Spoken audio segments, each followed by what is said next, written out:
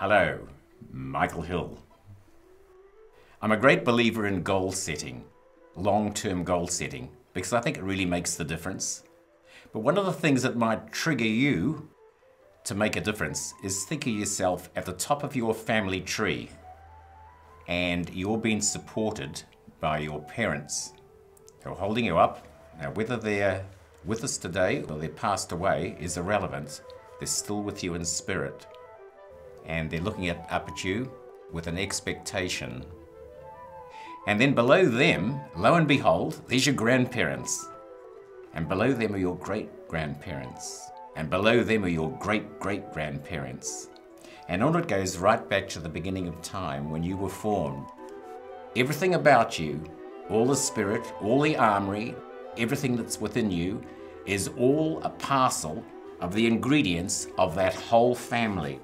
They're all looking at you with expectations and hoping you're going to achieve something in your life. But what are you going to do? We have two options. We take the normal one, possibly owning our own home, having children, having a nice lifestyle, retiring.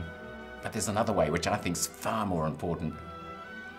And that is to push yourself, to set yourself a goal but not just an ordinary goal, a really audacious goal to achieve something that is so remarkable that every one of the people that is looking up at you in your family tree, with your dynasty, with your DNA, that each one of them is in tears. Tears of happiness for what you are going to achieve in your lifetime.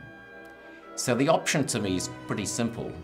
We go the normal way, or we go outside the box and we dare to dream big and achieve something that's going to leave a presence on this earth that you and all your family, right back to the beginning of time, are going to be so proud of you for what you have achieved in your lifetime.